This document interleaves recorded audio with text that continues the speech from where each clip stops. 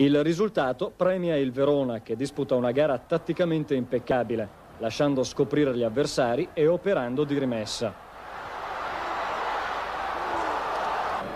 Ma il risultato condanna pesantemente il Torino, troppo sfortunato per non avere diritto a documentate recriminazioni contro la sorte.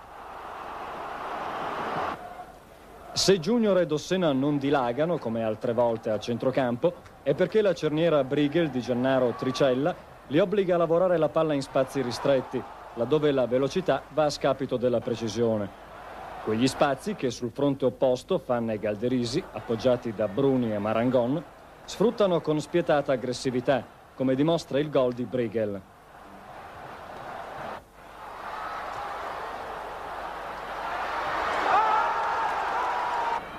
Il tedesco approfitta di due respinte corte di Martina e Danova e fa leva sulla stazza da culturista nel fragoroso impatto piede-palla. Il Torino perde Ferri stirato ma non la testa e agguanta il pareggio con una incornata di Dossena su cross di Schachner. Il Verona, privo del mastino Ferroni oltre a Del Chiaer, patisce almeno nel primo tempo l'avverve dell'austriaco. Qualche imprecisione nell'impostazione della manovra impedisce ai Granata di proseguire il forcing, rimandando allo scadere del tempo un'altra occasione d'oro che Galbiati manca. È sempre ai grossi avvenimenti. Eh? Grossi avvenimenti anche, soprattutto perché ce l'hai avvocato. Si sta divertendo questo, questo primo tempo? È la più bella partita che ho visto quest'anno. Verona merita veramente questo primo posto in classifica? Il Verona? Ma mi pare da come si è abbattuto oggi lo merita certo. Chi vorrebbe lei dei giocatori del Torino del Verona nella sua Juventus, avvocato? Chi vorrei? Vorrei Triscella, vorrei Brigel, vorrei Junior, ma agli stranieri ci sono i limiti, quindi ci limitiamo a Triscella.